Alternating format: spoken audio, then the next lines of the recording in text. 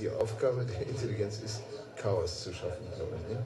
Und ne, also äh, die Ordnungsvorstellungen, die ja immer illusionär sind, immer Verengungen von äh, Sicht, Sichten sind, die, äh, zu stören. Ne?